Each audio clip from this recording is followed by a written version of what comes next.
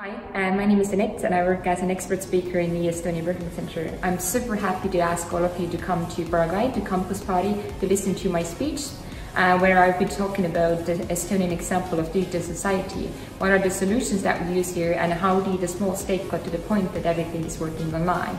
I'm really excited to see all of you there and can't wait to answer your questions. See you in Paraguay!